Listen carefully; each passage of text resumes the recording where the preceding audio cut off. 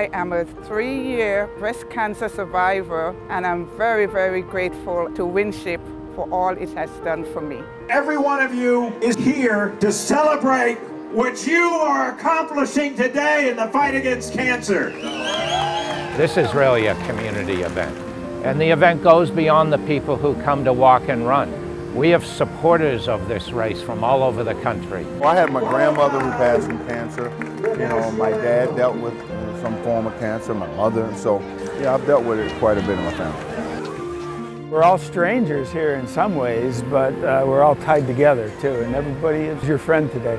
You can find common ground with other people who've gone through this, and so it's kind of like we're all here together working for a common cause. It's very inspiring.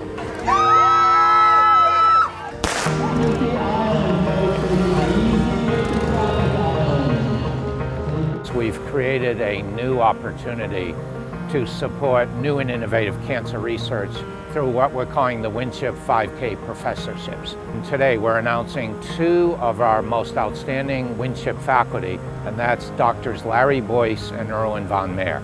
Their work expands and directly impacts patients that are seen not just at Winship, but really around the world.